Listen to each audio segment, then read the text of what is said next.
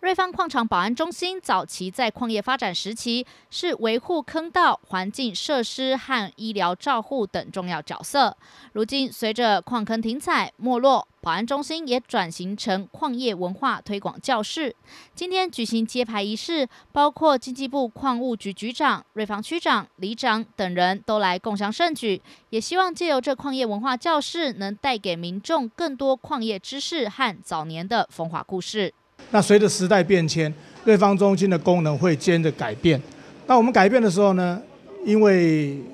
新平溪的龚董事长在我上任的时候来矿务局拜访，他告诉我，其实瑞芳有非常多的煤矿值得做文史的珍藏。那我们就开始成立工作圈，在一百零五年成立一个工作圈。那透过六次的专题演讲，还有很多的工作会议。我们慢慢的形塑出这样的一个环境，哦，矿业文文史的这个教室。那我们相关的预算呢，除了我们自己的预算以外，文化局也给我们很多的预算。那今天是一个很标准的里程碑哈，因为瑞芳中心在瑞芳地区，它在整个的旅游交通的锚定有一个锚定作用，因为它在火火车站的附近。那我们。期待就是来参观整个瑞芳地区，能够把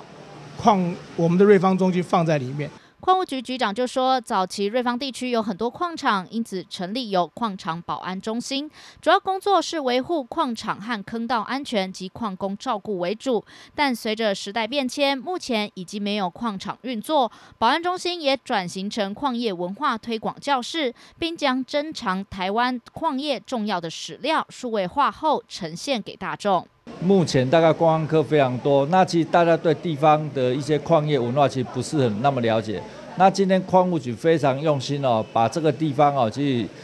在矿业上面一些以前采矿的历史背景因素啊，还有一些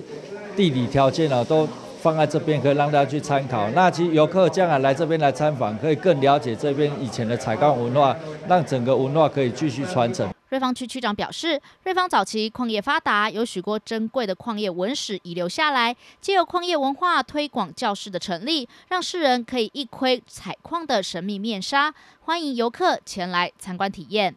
谢成威，瑞芳采访报道。